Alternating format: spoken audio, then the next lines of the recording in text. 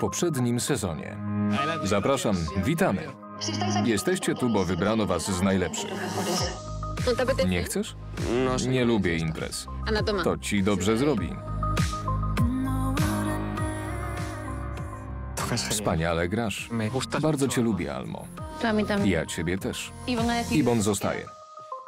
Witamy w rodzinie. Charlie ma rację. Wyprali ci mózg.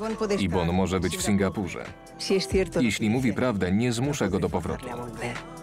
Jesteś teraz moją szefową? Twoją panią.